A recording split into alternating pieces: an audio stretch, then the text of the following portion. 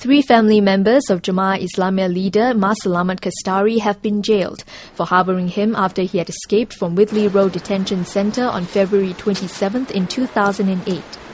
Home Affairs Minister K. Shanmugam revealed this in Parliament on Monday. Mas Selamat's niece, Nur Aini, a Malay language teacher, was sentenced to 18 months in jail.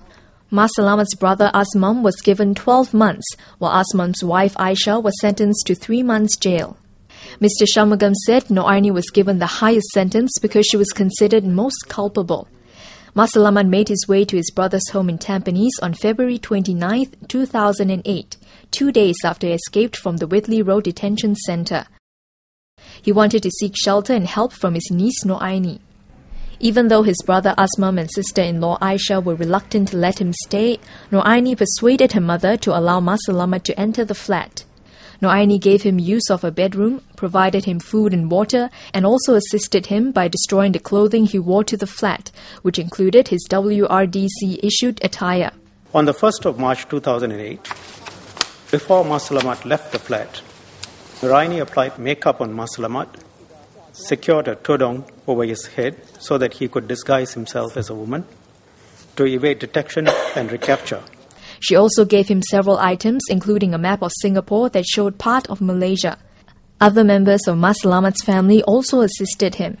Before Mas Selamat left the flat on the 1st of March 2008, Asmom gave him 100 Singapore dollars and 100 Malaysian ringgit to facilitate his escape from Singapore to Malaysia. Asmom's wife Aisah gave Mas Selamat an EZ-Link card and hairnet, which he wore as part of his disguise, and some paracetamol. The three were arrested and charged last Wednesday on November 10th. The three were convicted of the charge and sentenced on November 18th. The couple's son Mahathir had a lesser role in the matter, as he did not aid Mas Selamat in his escape, but did not inform the authorities of Mas Selamat hiding in the flat. Mahathir has been served a stern warning in lieu of prosecution.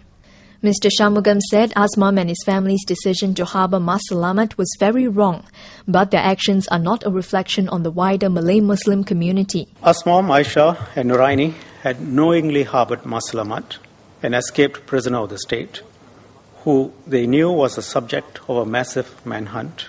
Singaporeans will be undoubtedly disappointed that Asmom and his family had helped Mas Selamat in his escape. Their actions are, however, not a reflection on the wider Malay Muslim community who had disapproved of Mas Selamat's actions and participated in the manhunt for him in 2008. We should therefore not allow this episode to affect the trust and goodwill that has been built up over the years between our different communities. During the Parliament session, questions were also raised on whether the sentences of the three family members were too lenient, given that Mas Selamat is a prisoner of state. Given the seriousness and graveness of the offence, I just wonder whether the Minister feels that the punishment for the Asmom and his family members were too lenient. The court is likely to have given way to the fact that the assistance was not premeditated Rather, the three persons appear to have acted on misguided instincts of family ties on the spur of the moment.